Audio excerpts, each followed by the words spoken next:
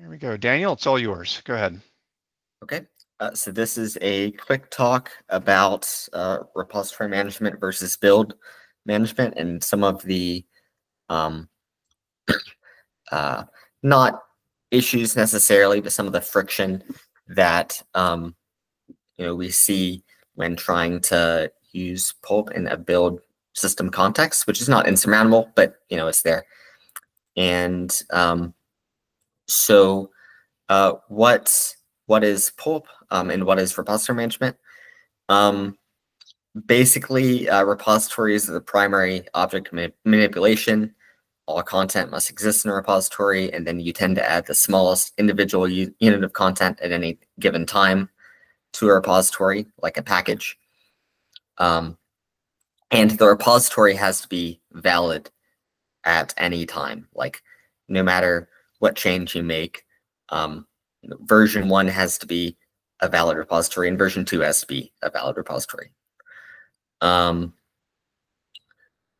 uh, there's sometimes a little bit of a higher conceptual level of abstraction uh, beyond individual packages though. So for instance, one spec file can turn into many RPMs when built. And if you build it against multiple architectures, then you have multiple different groups of RPMs. Uh, you know, one group for each architecture. And sometimes you you want to manage builds rather than individual packages. Um, you want to ensure that either all packages in the build are present or they are not. Um, and interim states where individual packages have been added are undesirable. Uh, you can emulate this with pulp, um, and we do, uh, for instance, Copr, um, but it does involve a bit of additional automation outside of pulp. Um, pulp isn't uh, kind of natively designed around this workflow, and it's an interesting thought exercise to think about uh, what a native, a more native workflow might look like. Um, so as an example, I'm going to use Flat Manager. Uh, Flat Manager is the backend for FlatHub. It's the uh, primary community Flatpak repository. And um, uh, in addition to being a repository, I believe they also do builds. So it's, it's kind of a, it's like Copr, I think it's a combined build system and uh, community repository tool. Um, so the flat manager workflow is kind of along these lines. So you create a build, uh, you get an ID, you upload artifacts to the build ID. Oh, and by the way, um, I, I recommend reading through this blog post. It's, it's really short um, and it, it explains it in a little bit more detail than I am. Um, um, you when you're done with uploading all of the builds, you commit them, uh, or if any of them failed, uh, you purge. Um, if you purge, then all of the builds are uh, uh, basically wiped uh, and nothing's made available to users. Um, if you commit, then uh, a new test repo is created automatically um, so that you can um, uh, test uh, basically your new build. Um, and there's a difference between committing and publishing. So uh, publishing, you know, like in like in pulp, um, is used for things like you know, sign, uh, signing artifacts, which we don't actually do in pulp, um, but you you probably could in theory. Um, producing derivative artifacts like static deltas, AppStream metadata, and Flatpak ref files, and uh, culling scripts for customization. Um, but publish itself is also split into two steps. So there is import, uh, importing the build into the mainstream repo. And there is a separate job that's queued for performing repo updates. Um, the purpose for that is, you know, if you were to publish uh, multiple builds at the same time, you don't want uh, one of them to overwrite the other one um, in terms of uh, uh, uh, you know what what content is available. You know if you if you add build A and then you add build B, you don't want uh, the publish for build B to race with the publish for build A and then like somehow hide one or the other one. You you always want to be adding. Um, and it's kind of analogous to um, in Pulp if you were to copy content and then publish a repository. Um, but um, uh, FlatHub has a default policy that successful builds are published after three hours um, to the, the mainstream repository. Uh, so you can partially emulate this in Pulp. Um, you can, and we do in Copr.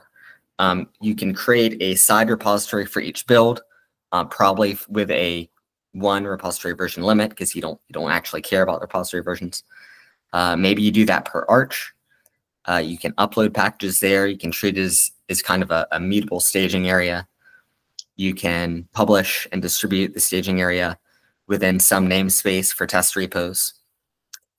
You can copy the contents of those repositories back into the mainstream repository and then delete the side repository. Um, all of that gets you close. Um, there are some small gaps though. Uh, a minor one is, you know, purging doesn't really exist. Artifacts from deleted repos just become orphaned and it just kind of gets garbage collected later at some point. Um, if if you're doing builds such that you're kind of expecting them to be unique artifacts um, and not shared with previous artifacts, uh, it it might be more beneficial to do something like purging, uh, where you are more eagerly deleting stuff that's not going to be made public uh, to the user. Um, so that's just kind of like a, a storage management detail. Um, but the bigger the bigger issue is that intermediate states always have to be a valid repository because that is what Pulp is uh, designed around. It's a repository management tool. Um, so we've baked in the assumption that the intermediate state, you know, always has to be a valid repository.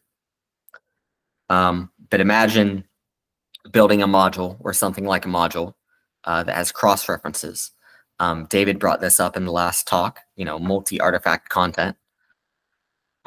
Um, you can't upload a partial content incrementally and then commit it when done and still have it, expect everything to work because in pulp because it's a repository management tool every intermediate step also has to be a valid repository and so if you upload modular packages without the module metadata you get a broken repository if you upload the module metadata without all the packages, you get a broken repository. So there's no such thing as a a partial, uh, partially uh, completed content that you can just continue adding to. Um, and I also know in the container plugin, they have to do something like this to work around the fact that um, uh, they basically have the concept of like pending, um, pending content. So when you're doing an upload of a uh, container image, I- I'm probably the wrong person to explain this because I just had it explained to me a few days ago. Um, but if you're uploading a container image, uh, you know there are blobs and manifests and manifest list um, that all have to be uploaded before you have a valid uh, uploaded container. Um, and it's really the same issue. Um, so the container plugin has to has to build in this concept of pending that's that's special to them. And um, basically what I'm getting at is you know, maybe there is some way we can generalize that and uh, make the container workflow uh, simpler, or the container plugin a little bit simpler, and also um, help out some of the uh, build system management kind of use cases that um, that uh, Pulp is also being used in nowadays, uh, like Copr. Um, and that's all I've got. So any questions?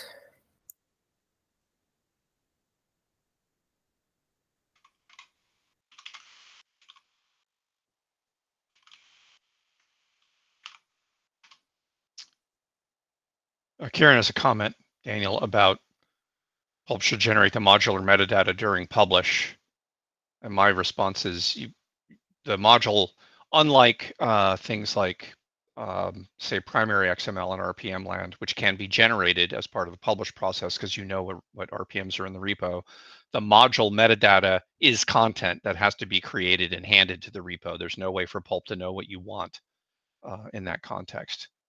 Is that correct? Would you verify that? Yeah, but but why? Why can't I tell Pulp these packages in this repository should end up in this module and then generate it should be named this, generate the metadata for me. Because there's a lot more than this in a module. There's a lot that goes into a module. Well, my point We is could. that is Go ahead, that is Dan. what you do, Yeah. but the fact is like you can't have the module um and also have references to packages that aren't uploaded yet.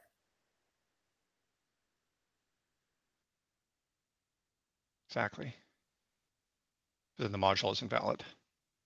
Yeah. Um, although modularity is kind of not a great example because the RPM ecosystem is moving away from modularity. So yeah, um, I just use it as might be a an example because there are others. Um, there are Mhm. definitely others. Exactly right. Exactly right. Other questions for Daniel? Brian, Um, I really appreciate what you talked about here. Um, do you have a sense of? We didn't talk about solutions, and I I don't. I'm trying to avoid it, but do you have a sense of if there's an incremental path, say again, Brian, I missed that. incremental path towards the types of solutions that you for this, or is Uh, so Yep. you're breaking up a lot, Brian. Uh, what I the the part I heard was, is there an incremental path towards uh, uh, supporting that workflow?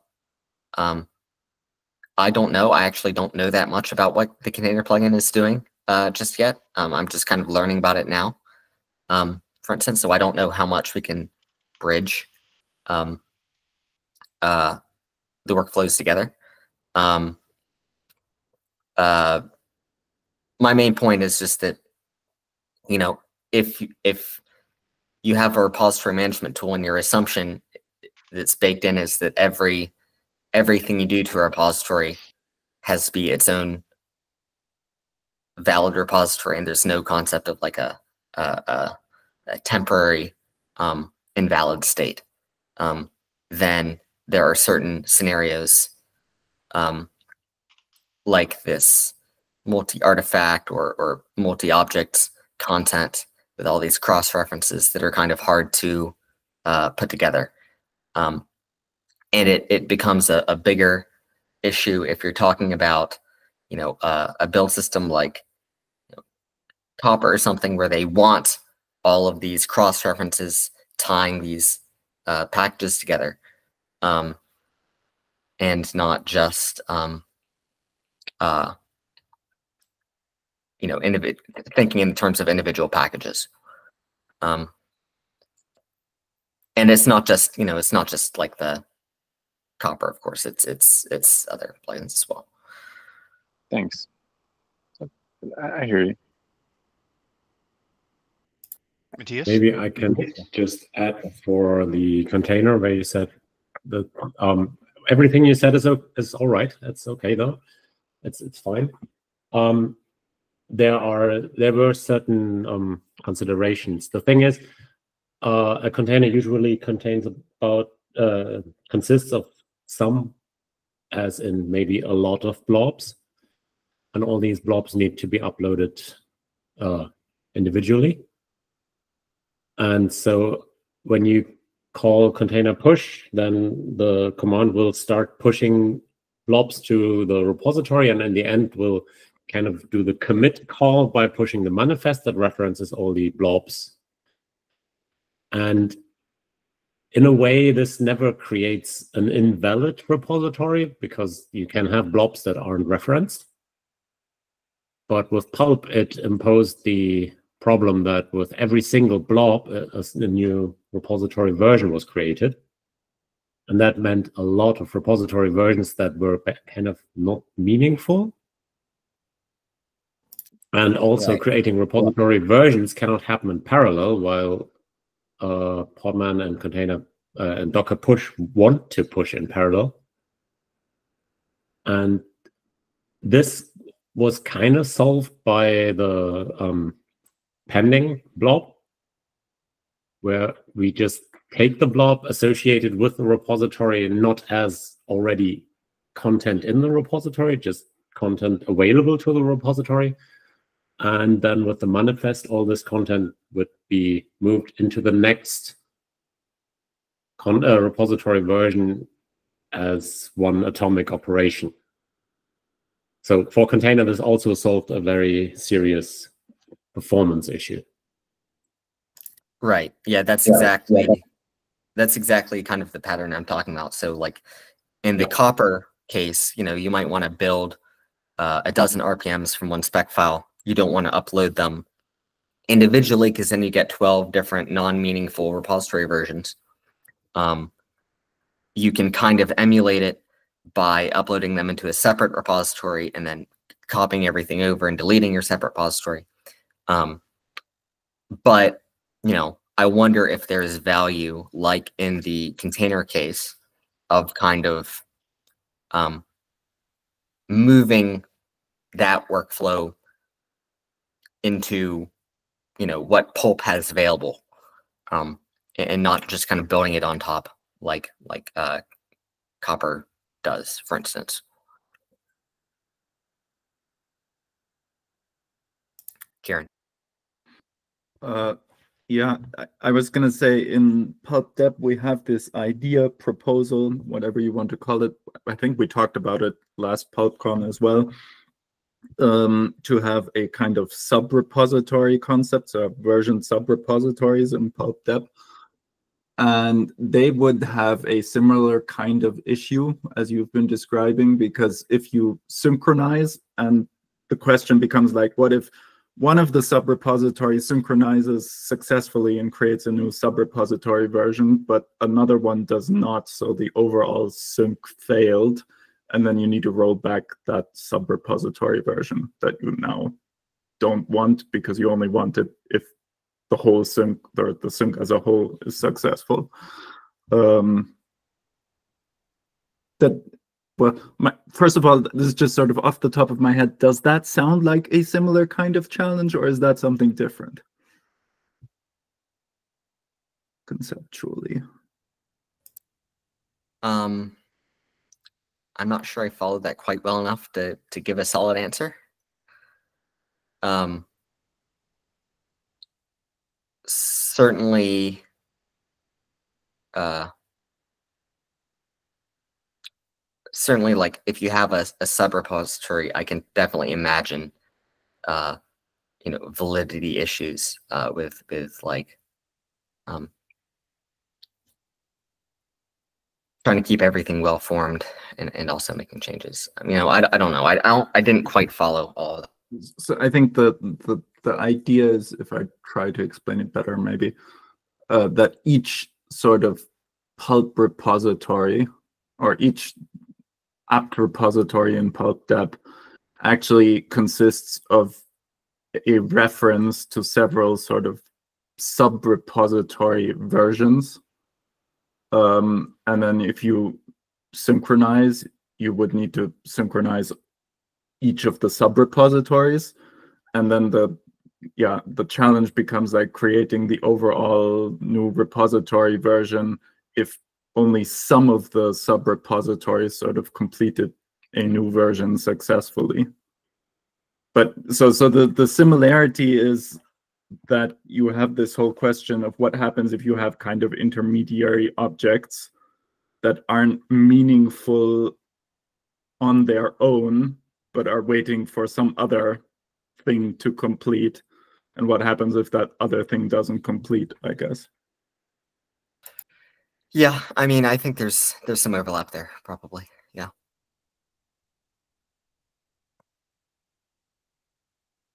But yeah, I don't know if we will ever find the time to actually do this. It would have some big architectural advantages for PulpDeb, but uh, yeah, it's still an idea. It's not planned. Yeah.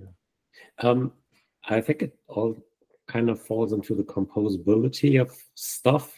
So in the container world, you have the blobs, and blobs compose or are kind of composed together by a manifest. Then with RPM, you have the individual packages, and a build will compose them into one meta content unit. And in the end, after all, a repository version is also some kind of a big meta content type that just contains a lot of other content. Is that going into your direction, Kieran? I guess yes, I mean, you could think of a source package which contains three files as a really small repository that contains three files, right? Right. Or at least conceptually, there's a similarity there. You have one thing that's composed of several other things. And yes, at, and what, at one point you hit save on the whole overall object.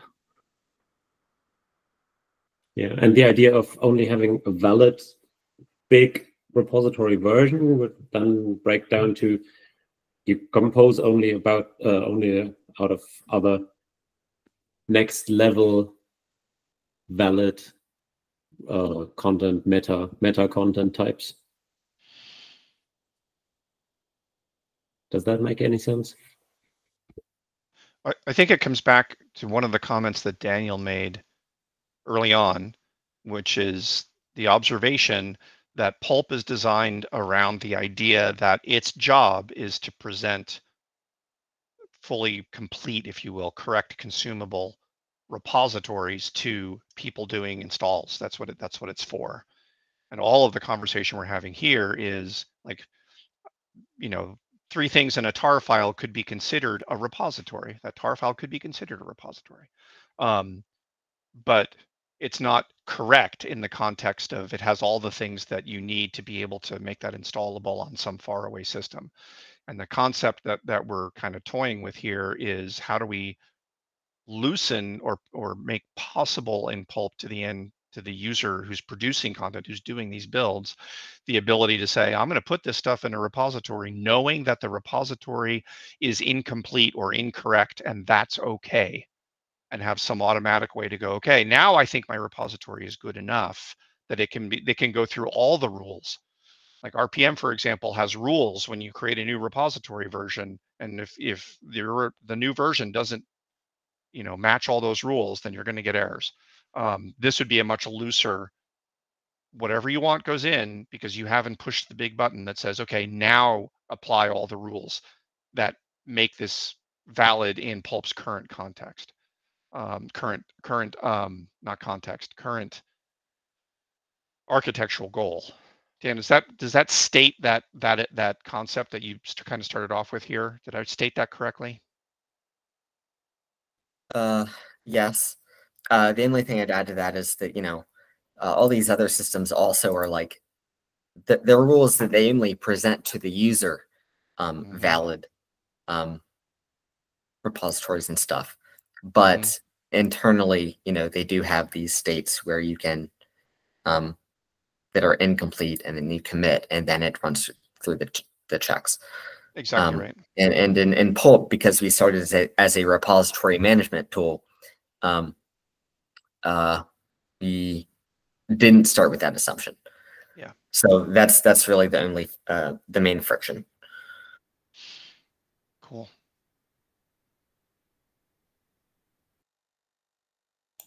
Um, Um, I'll also just reiterate, you know, I really recommend reading the the blog post, and I just linked it in the chat because it does explain it better than probably I did. Um, I, I debated just scrolling through the blog post in as my talk, um, but you know, you guys can can look at it on your own time because I think it does a good ex- a good re- uh, good job of explaining what they do and why they do it that way. Um, in the context of Flatpak, of course, but you know, um, Very cool. Other comments? Like Matthias, you were going to say something? I put it in the chat. Yeah. Yeah. Um, even in pulp file, I will point out, Matthias. I mean, pulp file is kind of a glorified tar file, but even in pulp file, if I want to have the same binary in a pulp file as in the SHA-256 is the same, but I want to have it have four different names, I don't think that works currently. Because we say, oh, we already have that SHA-256. What do you want it twice for? Um, that's an example of a rule that makes sense, except it doesn't. Um, well, you will have four different content units, but that's that should be possible. Do we? I'm not sure that that upload. We'll have to look. I know I've I've I've been talking to somebody relatively recently, last couple of months, where that had issues because of this. Um. Anyway, this is this uh, the the general approach here is. The interesting change is. Can we uh, come up with a, a consistent mechanism so that, for example, Pulp Container doesn't have to do its own thing, and then Deb doesn't have to do its own thing, to address this idea of I want to have a, a a place I can manipulate and play with, and then eventually have a magic button that says, okay, now apply all of the consistency rules that make it make it uh, the thing that Pulp likes to present to users. I think it's a fine idea. Other comments here?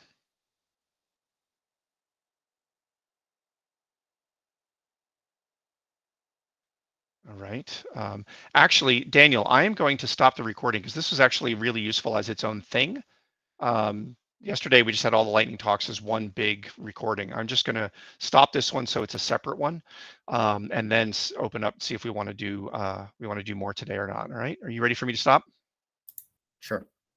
All right, sir. Hang on a moment.